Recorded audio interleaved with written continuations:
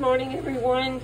It's Saturday, December 4th, and I just went out and picked another broccoli head. And I wanted to give you all a few tips, a little bit of advice on how I process my broccoli.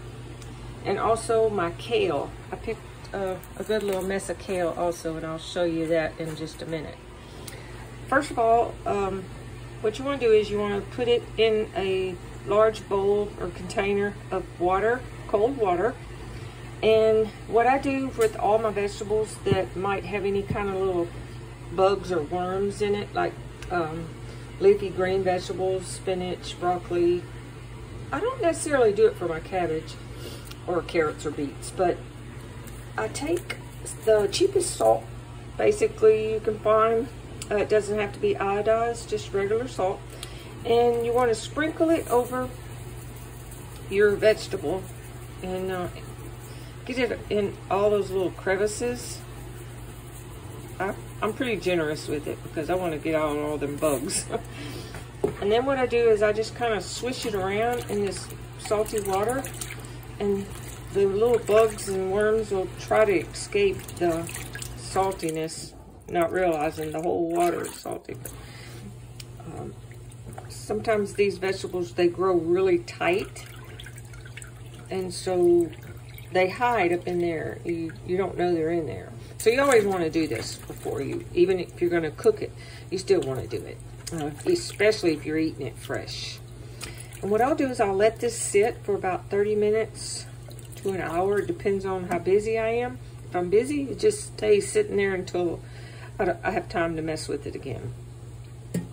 and then when I think the time is right, I will rinse it under cold water like this, just to drive out all the salt and the bugs. Give it a good rinse. And then what you'll do is you'll cut these uh, stalks all the way down.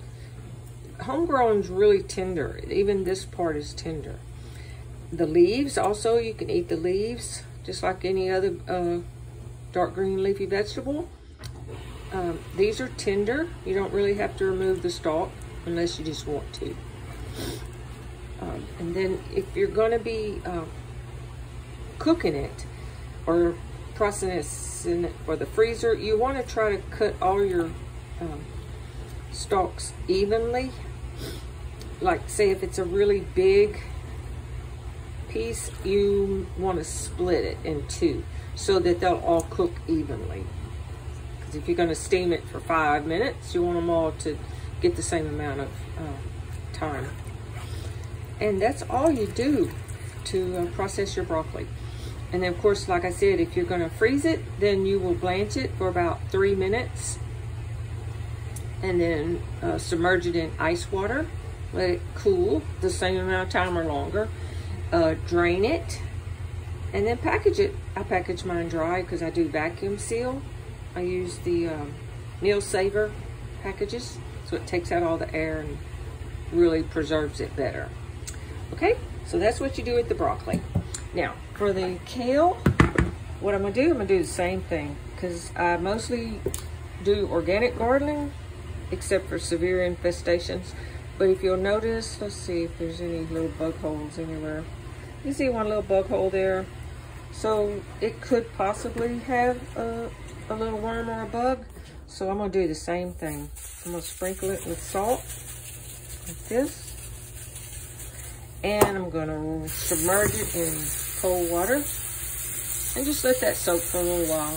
It'll give a good cleaning to it also. And I don't eat kale raw because it's a little bit too bitter for me. But I've been sauteing it with olive oil and onion and garlic. And y'all, this is so good. If you've never tried kale before, you ought to try it that way. And that's about it.